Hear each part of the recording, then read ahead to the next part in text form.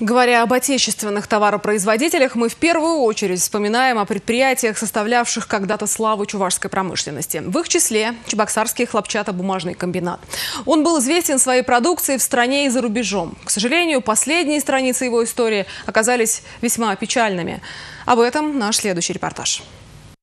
Преуспевающее предприятие стало терять свои позиции, когда собственником стала компания «Сава». Сначала под флагом реконструкции стали сокращать производственные мощности, затем объемы продукции. Настала очередь и работников компании.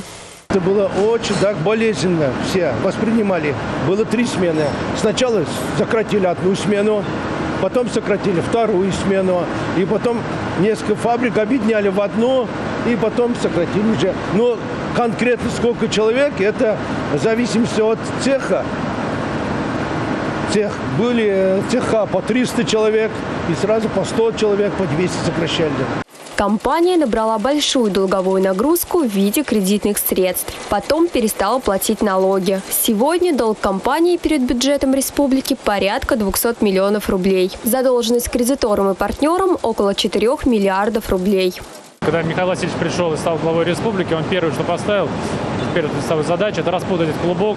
Это была достаточно серьезная социальная нагрузка, социальное напряжение среди коллектива, потому что высвобождалось много рабочих, Э, э, по судьбе было совсем непонятно. Было введено конкурс управляющий, конкурс на производство.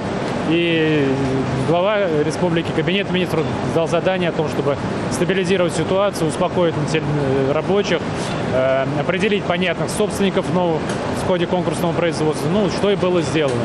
Благодаря работе региональных властей удалось сохранить легкую промышленность в республике. На площади хлопчатобумажного комбината работают несколько успешных предприятий. К примеру, Чебоксарская ватная фабрика, поставляющая свою продукцию для нужд РЖД и Минобороны. Есть востребованность на рынке. Сейчас э, мы планируем запустить новое производство. Это производство термовойлока и тенсулета. Тенсулет пока в России вообще не выпускается. Это новый современный синтетический материал. Он был разработан специально по заказу НАСА. Вот сейчас мы хотим э, наладить производство на нашем предприятии.